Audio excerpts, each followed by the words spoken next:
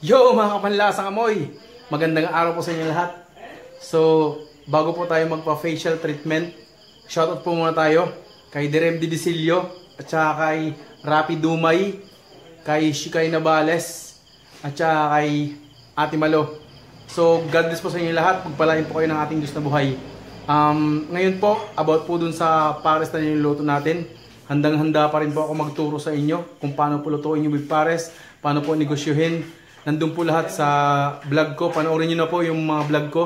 Kasi kung about sa pares po, nandun na po lahat yung sa about sa pares. So panoorin nyo lang po yung ano ko, yung vlog ko po. At saka doon po sa mga nagtatanong about sa recipe, PM nyo lang po ako, comment lang po kayo sa comment section at handa ko pong ibigay sa inyo yung recipe natin. Ang dami na po nagbi-business, ang dami na pong uh, gumagamit sa recipe natin. So pagpalain po kayo ng ating Diyos na buhay, lahat po ng magninegosyo ng pares. God bless, God bless po sa inyong lahat. Alam naman natin na um, ipagpray lang natin yung mga gagawin natin sapagkat ang Diyos natin ay makapangyarihan, handang tugunin yung mga panalangin natin, tayo may nahihirapan, lahat naman tayo nahihirapan pero ang ating Diyos na buhay ay handang tumugon sa mga panalangin natin. Just pray from the heart. Um, at huwag na rin po natin kalimutan mag-like at mag-subscribe sa YouTube channel natin. Po sa tagabenta po namin ng pares namin. So, shoutout po sa inyong dalawa. Um, God bless po sa inyo. Salamat po sa at naturuan kayo mag, paano magluto ng beef pares at paano din pong uh, i-prepare. So, salamat sa inyo. Um, pagbutihin nyo lang po yung paghawak ng business natin. Salamat po sa inyong dalawa na tagabenta ng beef pares natin. So, natuto ko na rin magluto. God bless po sa inyong lahat. Mabuhay po kayo. So, thank you so much po sa ating sa buhay. God bless po! God bless! Yeah! So, feel na feel na po tayo na mayaman na tayo. Kasi dito po tayo ngayon sa Montage Skin Care. Oh my oh, God! Skin Science pala. Wow! Tayo po magpapa-facial um, treatment po. Doon po, sa mga first timer katulad ko, kung ano po yung unang gagawin, siyempre, papasok po muna kayo. Pag sarado po, kakatok po muna kayo. para pagbuksan po kayo. So, pagpasok na pagpasok nyo po, um, tatanungin, tata, tatanungin nyo, ito po ba yung pampa-facial po? Wow, facial talaga, you know? What? So, sasagutin kayo, yes, this is it. Tapos papasok po kayo. Pagpasok nyo, bibigyan po kayo ng form. Itong form, form po. So, ilalagay nyo dyan yung, ano, yung, yung pangalan nyo, syempre, yung edad nyo. Um, at saka lahat po ng up. Pagkatapos po dito, kung available na kayo, so okay na. Yan, bibigay nyo dito sa Tapos papasok po kayo dito. Papasok po ba? Yes. So, bye-bye for now.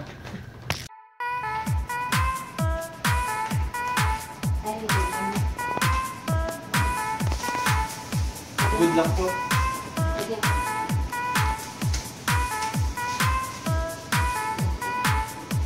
Actually po, tutulong ako natin pag-opera.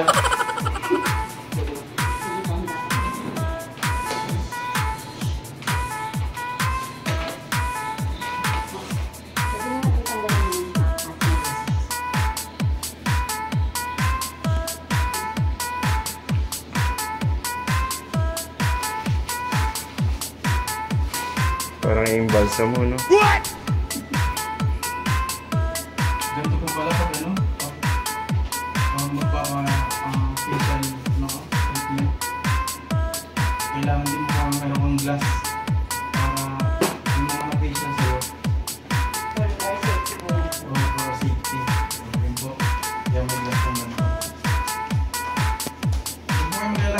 Alam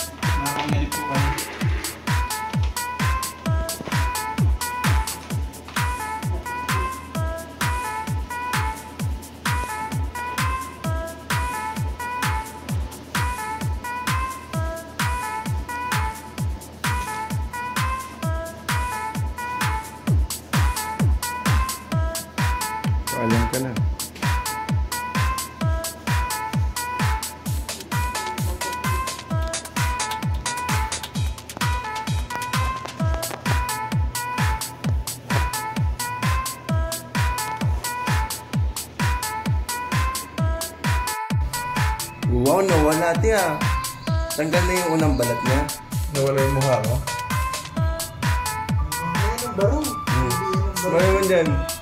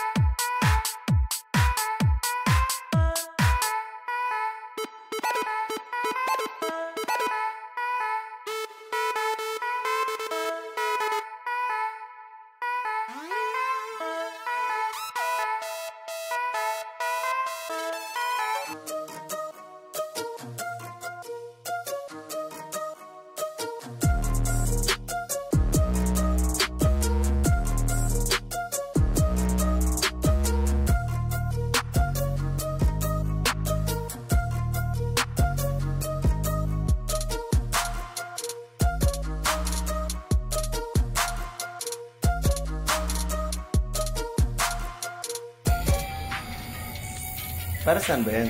Magpapogi yan. Ano yan? Ang close po siya.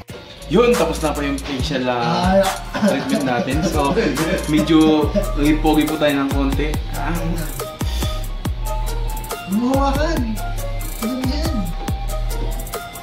so, okay po. Maganda. So, tapos lang po natin magpa-skincare. So, uwi na po tayo. So, bye-bye. Thank you po, montage. Wait eh.